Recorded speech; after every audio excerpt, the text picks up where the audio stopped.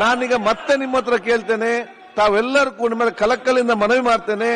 ನಿಮ್ಮ ನಿಮ್ಮ ಆ ಆಸನಕ್ಕೆ ಹೋಗಿ, ಇವತ್ತು ಬಹುಶಃ ಈ ಈ ಒಂದು ಚರ್ಚೆಯಲ್ಲಿ ಭಾಗವಹಿಸಬೇಕಂತ ಕೇಳಿಕೊಂಡು, ಈಗ ನಾವು ಬರಗಾಲಕ್ಕೆ ಸಂಬಂಧಪಟ್ಟ ಹಾಗೆ ಇನ್ನು ಎರಡು, ಮೂರು ಜನ, ನಾಲ್ಕು ಜನ ಯಾರು ಮಾತಾಡಬೇಕು ದಯವಿಟ್ಟು ಬರಗಾಲ ಬಗ್ಗೆ ಮಾತಾಡಿ.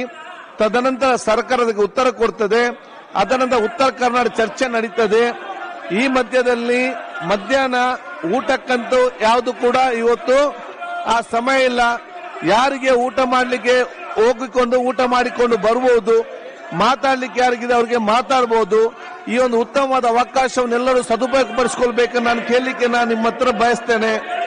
ಬಹುಶಃ ಇವತ್ತು ಜಿ ಟಿ ಪಾಟೀಲ್ ಮಾನ್ಯ ಬರಗಾಲ ಬಗ್ಗೆ. ನಾನು ವಿರೋಧ ಪಕ್ಷದವರಲ್ಲಿ ಮತ್ತೊಮ್ಮೆ ಮನವಿ ಮಾಡ್ತೇನೆ. ರಾಜ್ಯ ಇನ್ನೂರ ಇಪ್ಪತ್ಮೂರು ತಾಲೂಕಿನಲ್ಲಿ ಬರ ಇದೆ. ಜನಗಳ ಸಮಸ್ಯೆ ಬಗ್ಗೆ ಮಾತನಾಡಿ. ಜನಗಳ ಸಮಸ್ಯೆಗೆ ಪರಿಹಾರ ಕಂಡುಕೊಳ್ಳೋದಿಕ್ಕೆ ಸರ್ಕಾರದ ಜೊತೆಗೆ ತಾವು ಕೈ ಜೋಡಿಸಿ. ನಾವಿಗೆ ಸಲಹೆ ಕೊಡಿ, ತಪ್ಪು ಮಾಡಿದ್ರೆ ತಿದ್ದಿ. ಅದನ್ನ ಬಿಟ್ಟು ಇವತ್ತು ಉತ್ತರ ಕರ್ನಾಟಕದ ಅಭಿವೃದ್ಧಿ ವಿಷಯ ಚರ್ಚೆ ಆಗಬೇಕು ಅಂತೇಳಿ ಜನ ನಿರೀಕ್ಷೆ ಇಟ್ಕೊಂಡಿದ್ದಾರೆ.